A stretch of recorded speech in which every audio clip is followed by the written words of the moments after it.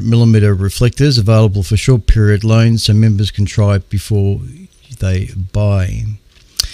Now, I've just activated my YouTube stream again. It is going at the moment. So, for those wanting to look for my, my YouTube stream, uh, VK3CSJ on YouTube, just try again. Look for the live symbol and uh, hopefully it'll hang in there. But it is back up and running again, as I can see. I can see also, also see Discord. Okay, just looking at there on Discord. So we are back online again, from what I can see. Members are also encouraged to make use of the Society's country property located near Heathcote, some 90 minute drive north of Melbourne. There are a range of instruments available for members uh, to use, the larger two requiring appropriate training, and they range from 300 millimeter to 1000 millimeter in aperture. Also located on the site is a fully steerable 8.5 meter steer, um, radio telescope, which members can access with involvement in the radio astronomy section. Members are encouraged to make and use telescopes. Advice and help on both matters are provided willingly to newcomers desiring to do the same. Instrument making is only one of the number of common interest activities catered for within the Society. Other areas of interest that members can participate in include deep sky observing, astrophotography, lunar and planetary observing, auroral, meteor, comet, radio astronomy, computing, cosmology, and astrophysics, historical studies, and research in astronomy in general. Contact details for various section directors are provided in the yearbook, and further information may be obtained by visiting the ASV website at www.asv.org.au. That's www.asv.org.au. Richard's got problems with his OBS. It's not one thing, it's another, isn't it? Um, we also ASV also publish via email uh, something called Crux Extra, uh, Crux Extra bulletins, which are sent out every other week to inform members or keep keep informed uh, members of the society of events coming up and any news that might be uh, relevant for members to know. Otherwise, the Crux magazine is the uh, is the thing that gets published. Uh, I think it's eight, eight, times a year. In fact, this is uh, this is the latest Crux. So I'm just holding up on the camera right now. what mine? Uh, no, looks like it's okay at the moment. It's still red.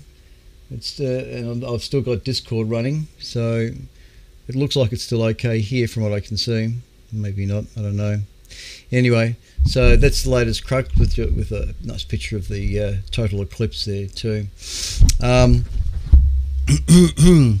so uh, yeah, there's a nice glossy um, publication, nice full color images, high quality res images, and uh, yeah, Crux is published six times a year. Uh, it's published six times a year by the Astronomical Society, um, and uh, yeah, there's a bit of a yeah. So there it is. That's uh, latest Crux. That's the sort of thing that you get. Um, all right. Yeah, I think we're still on YouTube from what I can see. That hasn't fallen hasn't fallen over. Um, all right, now uh, this is ASV Radio VK3EKH, 28th of April. Um, ASV is going through a, a, a, new website change too.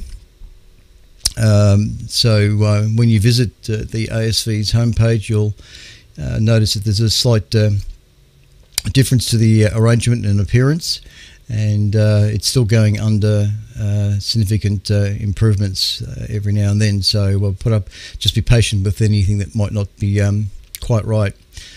Uh, but also, we have 20 sections, 21 sections now that make up the ASV. Um, in alphabetical order, it's astrophotography, club section, comet section, comet and meteor section, computing section, cosmology and astrophysics, deep sky, historical section, instrument making juniors, lunar and planetary, new astronomers group, radio astronomy, solar astronomy, space exploration, and women in space. And uh, women in space is the uh, the newest uh, addition to the list of sections that uh, um, that are now running uh, for uh, the members. Oh, and I can't seem to open up that page. Hopefully, it's not because I've dropped out again. But anyway, don't worry about that. Um, all right. So, uh, but like I say, more information about the society can be gleaned from the website www.asv.org.au.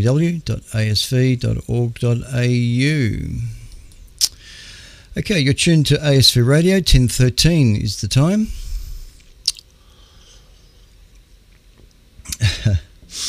All right. Now, some of you might have noticed or heard that um, uh, the Japanese uh, tried to uh, land on the moon uh, with another rover or probe, but unfortunately it uh, seems to have crashed. Japanese lunar lander loses contact moments before touchdown. It, it just goes to show that even on the moon, you know, the nearest uh, celestial object to us, um, it's still a, a touch and go situation about having successful landings and successful um, campaigns to, to getting to another planet or moon in this case. And when it does work, uh, it is really a, a, sense of triumph for everybody concerned. Um, uh, well and truly behind everybody that's um, that's involved with these uh, attempts to, to land on another um, another celestial object in this uh, solar system. And uh, when it's successful, it really is uh, a little bit of a, tear occurs in the eye. the Tokyo based company that developed the lander, iSpace, still hopes to eventually provide commercial services to both private companies and space agencies alike, it seems. Now, it did take one picture, this probe did take one picture uh, during the total eclipse, in fact, and uh, I'll bring that up now. Um, and uh, this image that you're seeing on the screen is quite genuine. It looks a bit fake, but it's not. Uh, while in a circular orbit some 100 kilometers above the lunar surface, iSpace's lander mounted camera captured this shot of Earth rising over the limb of the moon. And uh, the image also captures a unique view of a solar eclipse. If you look closely, you'll see the shadow of the moon projected on the Earth's surface. So you can actually see it. It's a little black dot, um, just uh, just uh, at the, the lower part of the uh, the image there. But it's quite a quite a, a nice image of Earth uh, on the on the limb of um, of the uh, horizon there of the moon. So things were working at the time. Uh, for all, for all intents and purposes, uh, the probe was still quite successful, uh, successfully working. The Japanese startup iSpace attempted to become the first private company to successfully soft land a commercial Jap- spacecraft on the moon today, that is Tuesday, April 25. However, it now appears that the landing attempt, uh, like several other such attempts in recent years, has failed and uh, the company's car-sized lander called M1 first set forth for the moon late last year, uh, launching aboard a SpaceX Falcon 9 rocket from Cape Canaveral in Florida on December 11. After a multi-month trip to lunar orbit, the spacecraft today fired its main thrusters to carry out a pre-programmed series of commands aimed to at gently lowering the lander on the lunar surface. But when the craft got within just a few dozen meters of the moon's surface, iSpace lost contact with the lander. Attempts to re-establish contact have have so far failed at the time, suggesting iSpace M1 lander did not touch down softly and safely as intended, but instead likely crashed into the moon's surface. We have to assume that we did not complete the landing on the lunar surface, said iSpace founder Takeshi Hakamada. Hakamada dur- during the company's webcast. We will keep going, never quit in our quest, he said. iSpace currently plans to attempt at least two more lunar landings over the next few years, applying lessons learned during today's landing attempt to increase their odds of success. Um, so yes, there it is. Um, bit uh, bit sad that that one didn't uh, didn't work out for them. The YouTube stream is still running, from what I can see. This is ASV Radio, VK3 EKH, broadcasting on 3541 kilohertz and via the Melbourne TV repeater, VK3 RTV1, digital channel 1. Uh, Stephen sent us an email, reports, uh, Hi Clint, great signal as usual, 30 over 9. No worries, thanks Steve, good on you. That's uh, vk3ekh at gmail.com, vk3ekh at gmail.com if anybody wishes to send reports.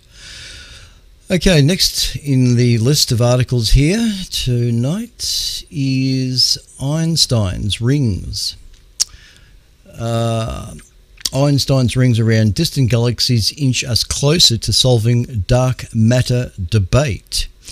For decades, physicists have argued over the nature of the elusive dark matter that pervades the universe.